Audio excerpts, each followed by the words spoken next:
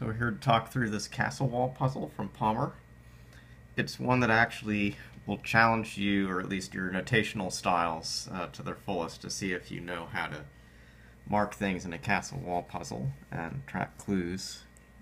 It's not that it's per se too hard. There's sort of one major aha moment to get about the puzzle, but uh, if you don't know how you want to track what you're looking at, you may run into some challenges.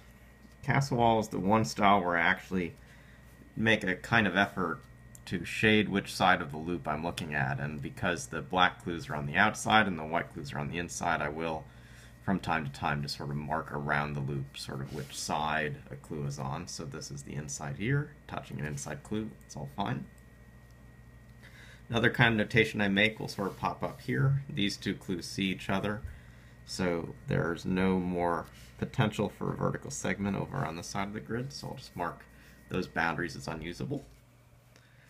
And then with that as the basic notation, we get to uh, what I guess is the intro challenge to this puzzle, which is after marking those simple things, where to go next.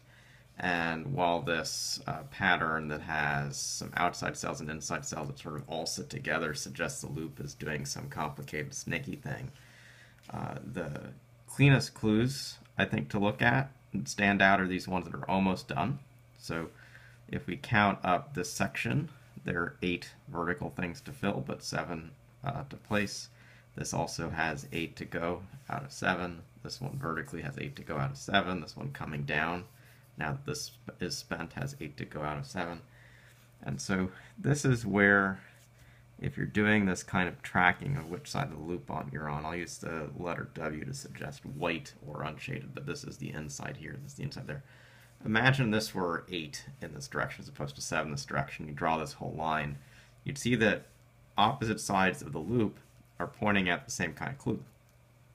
And that's not allowed in this sort of puzzle and you can ask yourself, what does that mean about when we're only eliminating one connection? For instance, we could just be eliminating this vertical segment here, or just this vertical segment here. Which segments must be connected, and which segments are where it must be separated? What you get is that if you had a straight line that went from this cell next to this white to that cell next to the white, you'd have a parity break in the puzzle. So one of these cells I'm circling, and this is an either or notation I use uh, to track that something is breaking in this chain. One of these circled cells can't be filled in in this space. This top segment, this bottom segment are for sure. And that same pattern propagates in all the other places in the puzzle that also sort of one away that these two clues, same color, in this case they're both outside. This was inside, that's outside, but same color, can't be on opposite sides of a straight line, so there's got to be a break between them. In this section, these two clues are on the outside of the loop, but they can't be split by a straight line. And over here, these two clues are on the outside loop, can't be split by a straight line. Can get started in that sort of way. That's the easier part of the break-in. I think most people will catch that. The second is, we'll emphasize why I'm doing the shading of sides of the loop, is effectively when you have two clues that are connected by a path most of the way, you will always know which way this turns. Let me show you what I mean by that. So let's say this turned to the right.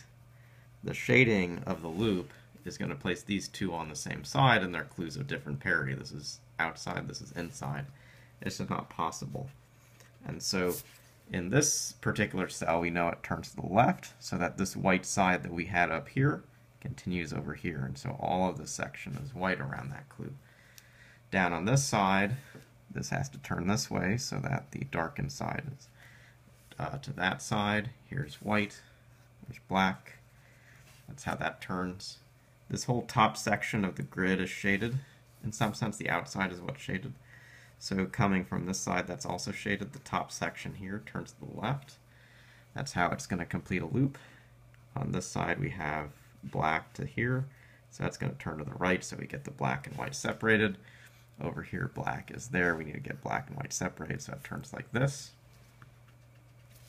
Can do it over here as well. We've got black so far, needs to become white. In this case, we actually, by having that turn there, we finish out this four clue. So I'm going to mark this off. It's another good habit in these puzzles to get used to marking off the clues you spend. Particularly a puzzle that's this large, it's just going to be challenging to know uh, what's the next clue to look at. So you always have to know which are useful, which are live clues, as we call them, which are spent clues. Having dealt with a turn for the seven clue, this one being unused, the rest uh, are trivial to fill in there. Uh, I don't think any of the other sevens right now have a turn, so we can't do that sort of fill in for them, but we can come back to the spot we sort of started here. It looks like these ends will come together on the top. If I actually do a count, I see I've already placed the four horizontal sections here. So we're not going to return to the top row anywhere else. Mark this into the grid. This corner we couldn't reach. I just marked that a few seconds ago. It actually now means that this three clue, which has one, two, three spots to fill, uses them all. It's always nice when you get a deduction of that form. Here there's just these loops need to connect to uh, come together, but again we could have used the shading principle. If the left side is black, the white side, right side is white, this loop has to turn to the left so that this white side is the side that that clue sees. The 7 down here has just 2 given and 5 left to go, so it uses all of those, it looks like. This section here comes straight down. Let's mark off the clues we've now spent. Having put that turn to the grid, we can fill the rest of that 7 clue right now. I'm looking in this space and that 4 to the left doesn't have a lot of options for it anymore. It actually looks like there are exactly 4 for it. With this side, the bottom side being white, this loop turns down here. We can actually then shade across the top, uh, sign darken, and so one of the reasons to keep track of the parity of loops is in a normal loop puzzle, which doesn't have an inside-outside in the clues, you might think this end comes to the right or this end might come down. Here, because we're coming from a shaded cell to another shaded cell, we can't have a dividing line between them. You can't go to white to black to white again in space of a cell. So this must come straight down and connect. And that's a kind of deduction you should get familiar with in these puzzles, that there are lots of times there's a one cell chute between a clue and the loop, and depending on the state of the cell right next to it, you can say it can't be passed or must be passed, but it's about the, the side of the loop that everything logically flows from. Let's uh, look now, guess sort of this sixth clue is one to think about. We've got one, two, three, four, five, six, seven. And you say, well, that still has one extra one to fill, but this puzzle has this setup where in the middle of long stretches that are one off, one of these threes that I've just circled has to be broken. But these are all good. And we can mark those actually in the grid work from there. What else is close to being productive right now? it looks like we want to figure out how to connect these ends as soon as we can. Looks like we have, in general, um, if this is white and this is white here, we can't have a line segment that's going through that cell. And that's pretty useful to see. I guess actually there's a clue here that we could jump to, which will get us that that cell's unusable in a second anyway. So let's just deal with this clue at the moment. It has just three line segments left to it. If we shade, we have to have white on the side. If this turns up, it's going to place shaded next to white, so this has to turn down. So now we have actually made a cul-de-sac there, but either from considering context or other things, you can mark that as unused. We finished this clue. Critical thing is now this 8 down doesn't have a lot of choices for it. So it has 1, 2, 3 up here, four, five, six. This, uh, only one of these two edges can be used for seven. The reason for that is this comes down or it comes up, but we can't have a T. So the seventh is one of these two, so I'll use my either or section here, and this is the eighth. So the exact way this goes isn't known, but what we do know is it doesn't come to the left. So that keys into our either or chain here. Um, we don't know where the seventh goes yet. This must be a section, and this must be a section, or we'll never get up to eight total. This grid's now set up to get eight total, however I filled down here, so I'll mark off the clue. I made a connection here, so I've got another seven clue I can fulfill.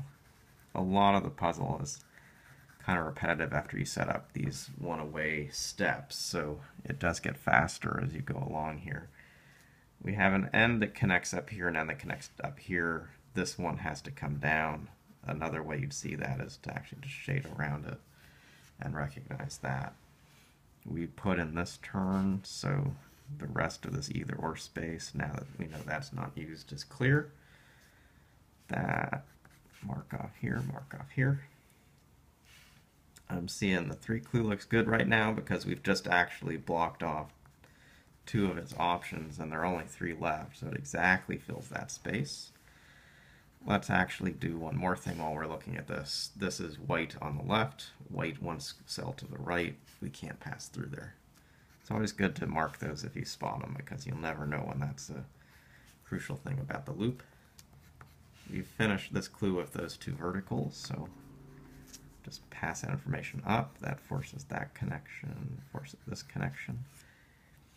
Now we're actually getting a little bit of the loop shaping up on the side, so this is where uh, pretty traditional loop puzzle thinking goes, which is how is it we keep these ends from connecting together these two ends closing would form a loop. So we're just going to keep in mind that those don't come together. Now it's these two ends that, that can't touch, but sometimes just the connectivity is always good to keep in mind because it will rear its head from time to time as you're going through a solve. Where are we at now? So we've got a few large vertical clues to still think about. One thing I want to do before I look at this 9 is to think about this chute between the loop and this clue. Again, we have the inside here. This is also on the inside. So that's not usable, and critically it, it blocks off two segments. So now let's do a count from this 9. We have 2, 3, this is an either or for 4, then we have 5, 6, 7, 8, 9, 10. But again, in that whole group, we have this group, which is an either or. So what I'm seeing is 2 plus 1 plus 1, a total of 3 plus 2 more. That's a total of 9. We've actually accounted for the whole uh, chute by doing this. And so these connections are to make sure it gets up to a final value of 9. We do have to figure out something about this middle uh, bit Critically, we also want to uh, deal with the color around this edge and see that this turns to the left. Having marked that, we can finally do something like we did in this upper left corner, which is to cancel out all these cells that can't be reached anymore. You'll notice that now it makes clues that point into the space, and I think the 5 to the right is the only one that gets there. There's nothing coming down from here, but the five right here, one, two, three, four, five, six, it's going to lose one clue in entirety. Normally we'd sort of mark this as the set of clues that could lose one of these three. But we already at the very early moments of this puzzle marked this as an unusable connection here. So you'd have to lose both of these together if you didn't come through them. That's not going to work. So those two must be used. This is the break.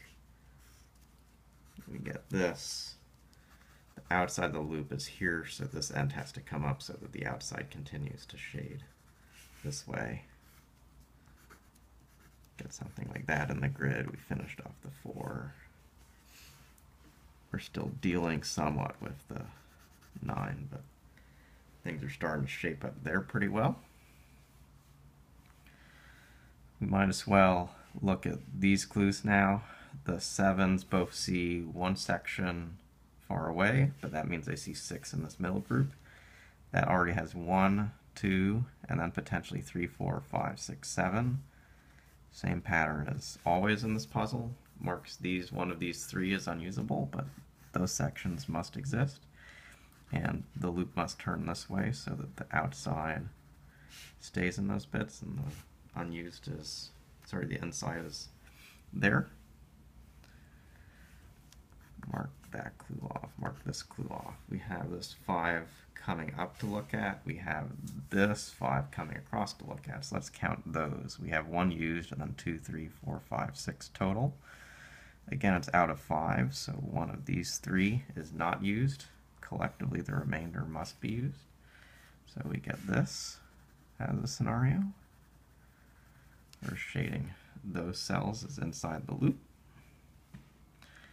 We have another situation now having marked this. We have these fives to deal with this whole space. We've got one choice here, one, two, another two, a total of five. Those all must be used.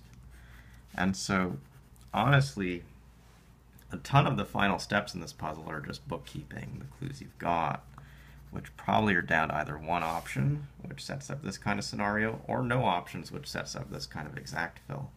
So let's just actually do that again over here with the six vertical. We have potentially one here, this would be two, this would be three, then we get four, five, six, seven. But we actually know a little more than that. This now can't be used. That can't be used. So this leaves three, total six. So those are all forced. Let's get our shading in. Which way does this loop turn? Again, it turns to the left we now have an end that's going to come to this end, which means these two ends touch. That means of these four, this was the ones not used. Same deductions as we've used throughout the puzzle. Push this as a loop.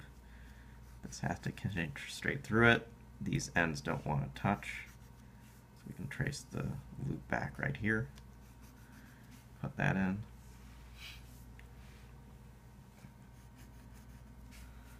We have uh, a little more potentially to do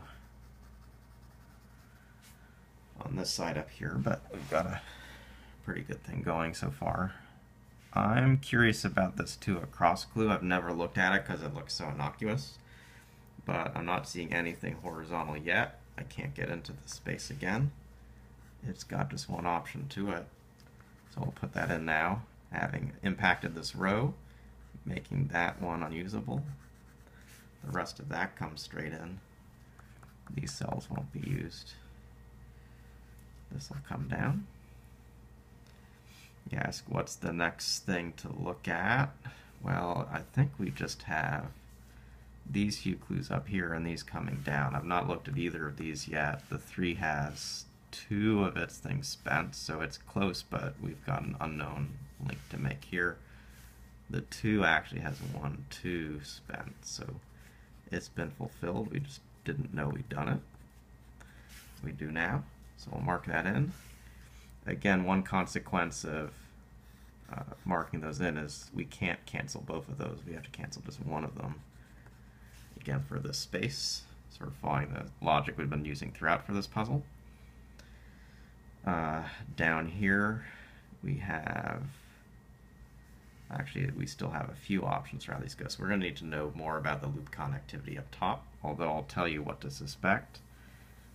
These ends don't come together, they need to enclose the rest of this loop. So this right now is a part of the top loop, and this is another part of the top loop, so this is impossible. That will close off this section to be separate. So that, at least, is the next step for it. I mentioned the three down was one away. I just put another one in. So now I actually know it's fulfilled. That does this. This has to come up. This has to come across. So we finished that clue. Now we've got something like this. This end is not going to come to that end. That would close off the loop too soon, so it's here. We're down to just one clue not used, so this one has to drive the last step. We've got two horizontally spent here. I'm not getting into that cell, so this is 3, that's 4. Mark that up and we finish off this grid. Again, it's not per se too challenging. It's rather large. It's got one kind of deductions used all the time. It's based on the, the cool coloring of this pattern, but it's you know, a, a topology question, I guess, in some sense. Are you capable of tracking the inside and the outside of the loop? If you do that pretty well and in this puzzle, you'll do it tremendously well in other castle wall puzzles. It's a really fun genre. It has some of the same uh, features to it that, say, uh, Sheep and Wolves do in Slitherlink puzzles, where you actually have to track the inside and outside. So I enjoyed debuting it again uh, this week, having enjoyed it for several years on Palmer's website, and we hope we have more in the future and that you'll uh, learn from this video and be able to do better when we have more castle walls going forward. Thanks.